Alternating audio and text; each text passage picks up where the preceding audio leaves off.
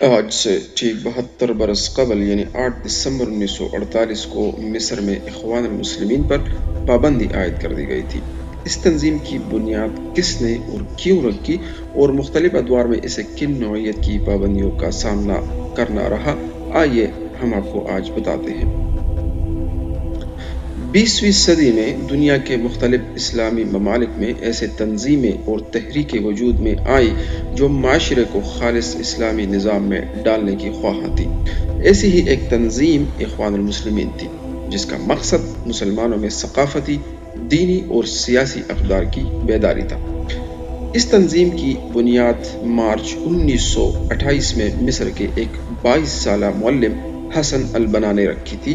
یہ وہ زمانہ تھا جب سلطنت عثمانیہ کے حصے ہو چکے تھے اور عرب دنیا میں متعدد اسلامی ریاستیں وجود میں آ چکی تھی حسن البنا کی تنظیم اخوان المسلمین بہت جلد ایک تحریک کی شکل اختیار کر گئی، جس نے نہ صرف تعلیم یافتہ لوگوں کو اپنا گرویدہ بنایا، بلکہ عام لوگوں میں اسے بے پناہ مقبولیت حاصل ہوئی۔ اس تحریک نے مذہب اور سیاست کو یکجا کرنے کے تصور کو فروغ دیا اور اس کے اثرات دنیا بھر کے اسلامی ممالک میں دیکھے گئے۔ شیخ حسن البنا چوبیس اکتوبر انیس سو چھ کو محمودیہ کے مقام پر پیدا ہوئے تھے۔ وہ تصوف کے شازلی مکتبہ فکر سے وابستہ تھے اور انہوں نے شیخ عبد الوہاب حسابی کی خدمت میں تعلیم مکمل کی۔ سن انیس سو ستائیس میں فارغ تحصیل ہونے کے بعد وہ اسماعیلیہ کے ایک سکول سے بطور مدرس وابستہ ہو گئے۔ اسی زمانے میں انہیں شکایات محصول ہوئی کہ نہر سویز کا کنٹرول سنبھالنے والی برطانوی کمپنیاں مصری کارکنوں کے ساتھ ناانصافی کر رہی ہے انہوں نے دیکھا کہ ان کمپنیوں کے یورپین مینیجرز عالیشان بنگلوں میں عیش و عشرت کی زندگی بسر کر رہے ہیں، جبکہ مصریوں کے کچے گروندے ان کی مفلوق الحالی کی زندہ تصویریں تھیں۔ انہیں یہ بھی محسوس ہوا کہ مصر کی ثقافت تیزی سے تبدیل ہو رہی ہے اور اسے ایک مسلم تشخص رکھنے والے ملک کی بجائے فرعون کے زمانے کا ملک بنایا جا رہا ہے۔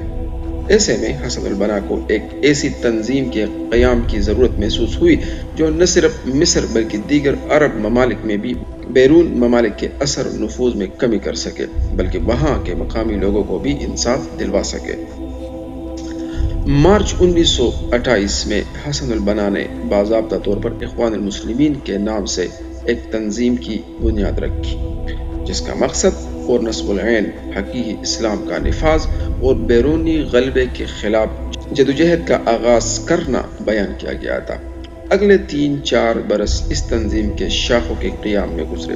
سن انیس سو بتیس میں جب حسن البنا کا تبادلہ قاہرہ ہوا تو اخوان المسلمون ملک کے طول و عرض میں پھیلنے والی ایک تنظیم بن چکی تھی۔ اس کے ارکان کی تعداد میں اضافے کے ساتھ ساتھ اس کا انتظامی ڈانچہ بھی وسیع ہو چکا تھا۔ حسن بنا نے اعلان کیا کہ اسلام کا پیغام علمگیر ہے اور یہ ایک مکمل نظامی زندگی ہے۔ اخوان المسلمون کی تنظیم کے ذریعے انہوں نے اپنے اسی نصب العین کو عملی جامع پہنانے کا کام شروع کر دیا۔ جلد ہی مصر کے طول و عرض میں اخوان المسلمین کی شاخیں قائم کر دی گئی طلباء اور مزدوروں کو منظم کیا گیا اور عورتوں کی تنظیم کے لیے اخوان المسلمین کے نام سے علیحدہ شعبہ قائم کیا گیا۔ اخوان نے اپنے مدرسے بھی قائم کیے اور رفاہ عامہ کے کاموں میں بھی حصہ لیا۔ انہوں نے ایک ایسا نظام تربیت قائم کیا جس کے تحت اخوان کے کارکن بہترین قسم کے مسلمان بن سکے۔ حسن البنا نے اسلامی حکومت کے قیام اور اسلامی قوانین کے نفاذ کا مطالبہ کیا۔ انہوں نے کہا کہ پچاس سال سے مصر میں غیر اسلامی آئین آزمائے جا رہے ہیں اور وہ سخت ناکام ہوئے ہیں۔ لہٰذا اب اسلامی شریعت کا تجربہ کیا جانا چاہیے۔ انہوں نے اس بات پر بھی زور دیا کہ مصر کے موجودہ دستور اور قانون کے ماخذ کتاب و سنت نہیں ہے بلکہ یورپ کے ممالک کے دستور اور قوانین ہیں جو اسلام سے متصادم ہیں۔ اگلے دس برس میں اخوان المسلمین نے اپنا پریس بھی قائم کر لیا اور اپنے جرائد اور ثقافتی پروگراموں کا سلسلہ بھی جاری کر دیا۔ سن انیس سو پینتیس میں رشید رضا کے انتقال کے بعد حسن البنا نے ان کے رسالے المنار کی ادارت سنبھالی۔ اخوان نے خود بھی ایک روزنامہ، ایک حبت روزہ اور ایک ماہنامہ جاری کیا۔ روزنامہ اخوان المسلمین مصر کے صفحے اول کے اخبارات میں شمار ہوتا تھا۔ ان مطبوعات اور چھوٹے چھوٹے کتابوں کے ذریعے اخوان نے اپنے اعراض و مقاصد کی پرزور تبلیغ کی اور بتایا کہ اسلام کس طرح زندگی کے مختلف شعبہ جات میں دنیا کی رہنمائی کر سکتا ہے۔ وقت کے ساتھ حسن البنا کے جوش و جذبے میں بھی شدت پیدا ہو گئی، جس کے نتیجے میں وہ عملی سیاست میں حصہ لینے لگے۔ سن انیس سو چتیس میں انہوں نے مصر کی بادشاہ وزیر اعظم اور دیگر عرب حکمرانوں کے نام ایک خط شائع کیا، جس میں ان سے اسلامی نظام نافذ کرنے کا مطالبہ کیا گیا تھا۔ دو سال بعد انہوں نے مصر کی بادشاہ سے مصر کی سیاسی جماعتوں کو تحلیل کرنے کا مطالبہ کیا۔ کیونکہ تمام جماعتیں بدعنوانیوں میں ملوث ہو چکی تھی، جس کی وجہ سے ملک میں انتشار پھیل رہا تھا۔ دوسری جنگ عظیم کے بعد مصر پر برطانوی تسلط کے خلاف جن ہنگاموں کا آغاز ہوا، ان میں سب سے نمایاں کردار اخوان المسلمین کا ہی تھا۔ اس وقت تک مصر میں اس جماعت کے ارکان کی تعداد بیس لاکھ سے تجاوز کر چکی تھی اور اس کی شاخیں دوسرے عرب ممالک میں بھی قائم ہو گئی تھی۔ حسن البنا نے سن انیس سو اڑتالیس میں فلسطین سے برطانیہ کے انخلا کے بعد جہاد فلسطین میں عملی حصہ لیا۔ اور اخوان رضاکاروں نے سرکاری افواج کے مقابلے میں زیادہ شجاعت کا مظاہرہ کیا۔ اس کے علاوہ دوران جنگ، انگریزوں نے آزادی مصر کا جو اعلان کیا تھا، اسے اخوان نے فوری طور پر پورا کرنے کا مطالبہ کیا۔ اس سے اخوان کی مقبولیت میں بے پناہ اضافہ ہوا۔ اخوان کی روز بروز مقبولیت سے ایک طرف مصر شاہ فاروق خطرہ محسوس کرنے لگے، تو دوسری طرف برطانیہ نے مصر پر دباؤ ڈالنا شروع کیا کہ اخوان پر پابندی لگائی جائے۔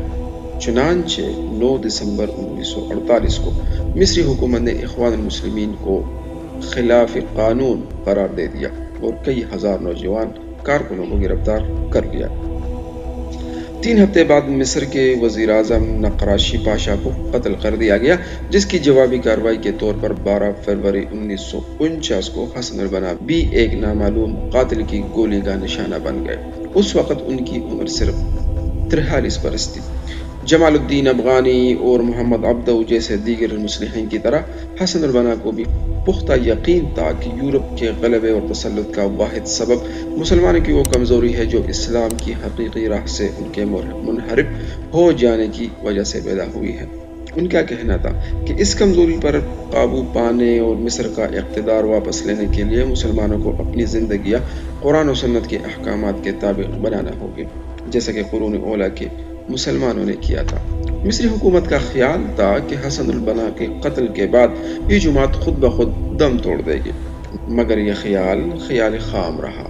حسن البنا کے بعد اس جماعت کی قیادت حسن اسماعیل الحدیبی نے سنبھال لی۔ تاہم، اخوان المسلمین میں جو شخصیت سب سے زیادہ نمایاں ہوئی، وہ سید قطب کی تھی۔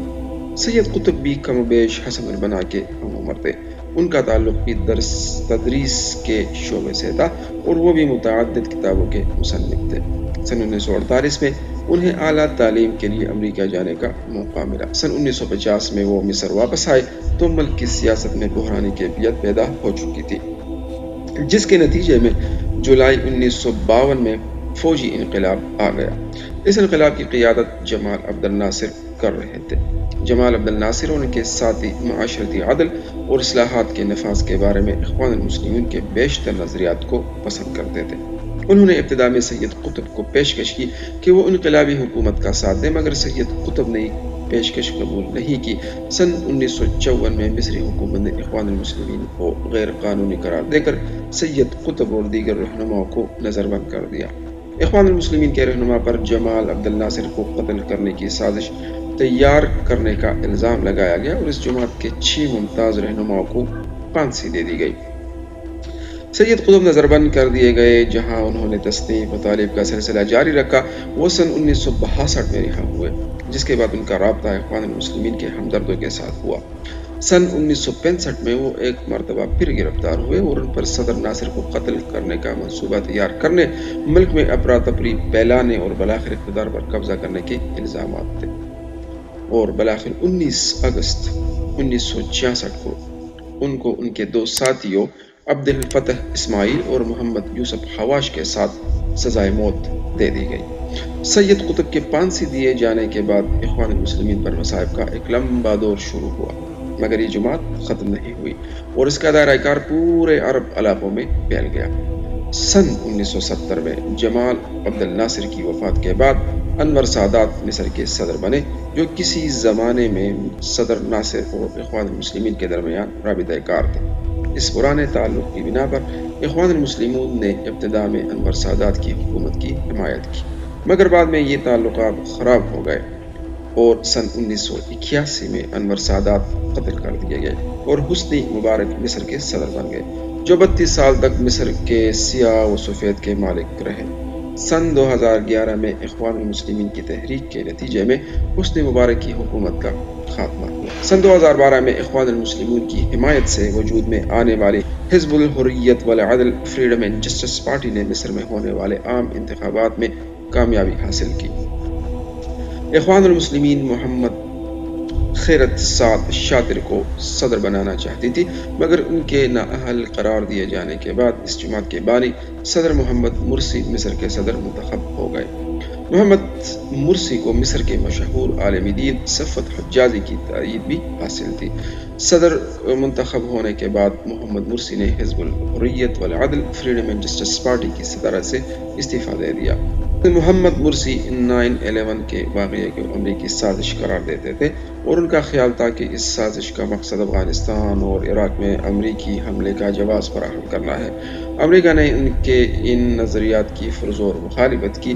محمد مرسی مصر کے نئے آئین میں ترمیم کے بھی خواہش مند تھے۔ جس کے بعد ان کے مطابق اس آئین پر شریعت کا رنگ غالب آ جاتا۔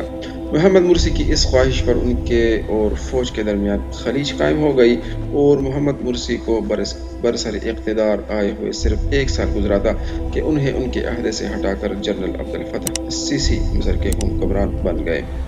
محمد مرسی گرفتار کر لیے گئے اور اپریل دو ہزار پندرہ میں محمد مرسی اور ان کے ساتھیوں کو بیس بیس سال قید کی سزا سنا دی گئی۔ ان پر کئی دیگر جرائم کے مرتکب ہونے کا الزام لگایا گیا، جن میں غیر ملکی عسکریت پسندوں کے گٹھ جوڑ سے لے کر خفیہ سرکاری معلومات افشا کرنے، دھوکہ دہی اور توہینی عدالت کے الزامات شامل تھے۔